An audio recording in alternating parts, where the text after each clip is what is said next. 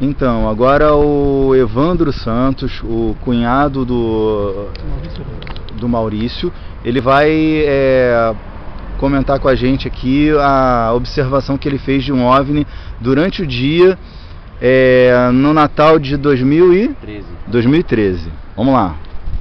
Bom, o que eu tenho para relatar é o seguinte, era, era mais ou menos umas seis e meia do, do horário de verão, onde eu estava mexendo na churrasqueira, né, e começaram a soltar uns fogos, e por isso eu comecei a prestar atenção, né, era mais ou menos naquela região ali, né, aquela região ali está até com um pouco de claridade, então justamente também porque ali é, é, é rota de avião, né, então muitos aviões passam aqui, então às vezes confunde a cabeça da gente.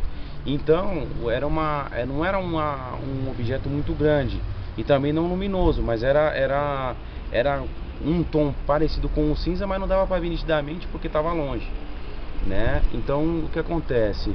É, em cima dos fogos explodindo, na onde eu mostrei aí no, na filmagem, é, tinha um, um, ponto um pouco acima do, do dos fogos, né? E o que, que acontece? Os fogos estourando e aquele, aquele OVNI estava como se fizesse uma, uma filmagem. Até pensei que era um helicóptero, né? E o que acontece? Eu, ele, só, eu observando aquilo. Ele estava parado. Estava parado, sim, sim, como se fosse um helicóptero. E eu imaginava que realmente era um helicóptero.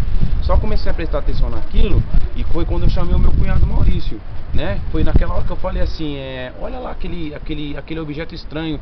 Foi quando ele muito rápido ele, ele, ele baixou numa, numa milésimos assim, vou fazer mais ou menos com a mão pra, pra, pra você entender. Mais ou menos ele parado aqui, ele fez um pouquinho para baixo muito rápido e dali ele subiu como fosse um mais rápido com um piscar de olhos. Então. E dali eu não vi mais.